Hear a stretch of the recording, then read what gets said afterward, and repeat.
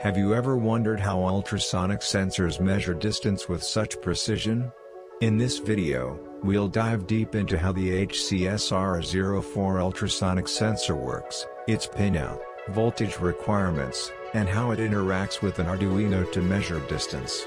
So without wasting any time let's get started. Before we understand how the HCSR04 works, let's first understand ultrasound.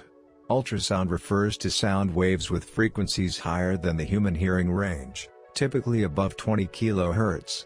The HCSR04 operates at 40 kHz, which is far beyond our hearing capability. These high-frequency waves travel through the air and reflect off objects, allowing us to measure distances based on the time it takes for the sound to return.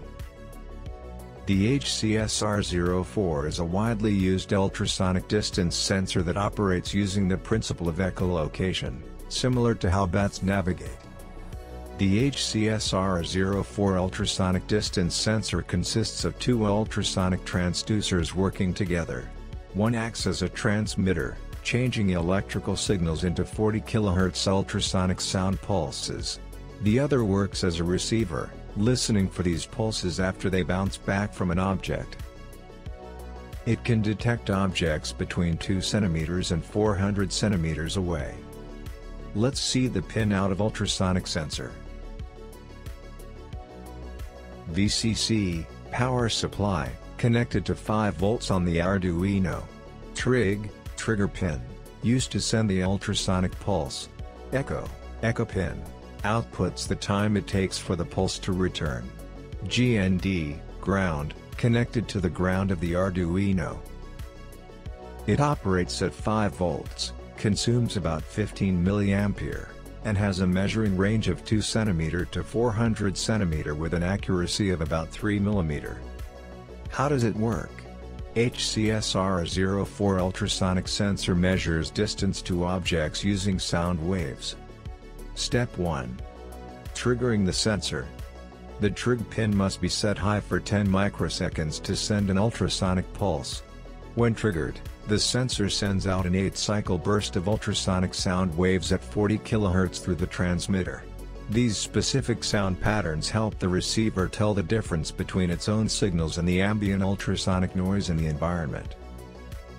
As soon as these sound waves are sent out, the echo pin goes high, and the sensor starts waiting for the echo to return. If the sound waves hit an object and bounce back to the sensor, the echo pin goes low as soon as it detects this returning echo. The time between the echo pin going high and then low creates a pulse. This pulse can last anywhere from 150 microseconds to 25 milliseconds, depending on how far away the object is. If the sound waves don't bounce back, the sensor will stop waiting after 38 milliseconds. This timeout tells you there's nothing within the sensor's detection range of about 13 feet.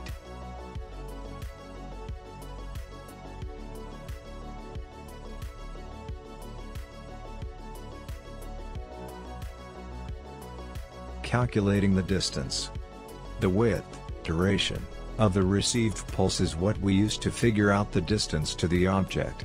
We can calculate this using the distance speed time equation you might remember from science class. Say we have an object somewhere in front of the sensor, and we receive a pulse that lasts 500 microseconds on the echo pin. We know the time value is 500 microseconds, and the speed is the speed of sound which is 340 meters per second. Which comes out to be 0.034 centimeters per microsecond. Now, let's put this value into the equation.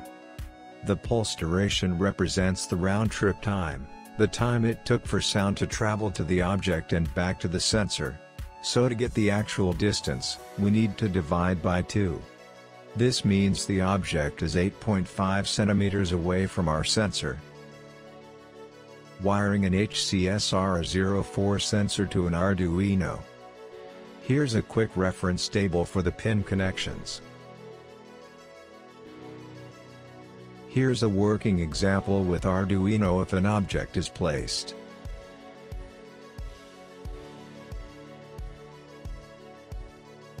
Limitations of ultrasonic sensor. The sensor has trouble measuring accurately when objects are more than 13 feet, 4 meters, away. Beyond this distance, readings become unreliable or the sensor might not detect anything at all. If an object's surface is tilted at a shallow angle to the sensor, the sound waves might bounce away in a different direction instead of returning to the sensor. Objects with soft or irregular surfaces, like stuffed animals or fabric, can absorb sound instead of reflecting it. This makes them difficult for the HCSR04 to detect properly. So I hope you have learned something new today make sure to hit that like and subscribe button for more informative videos. Thanks for watching.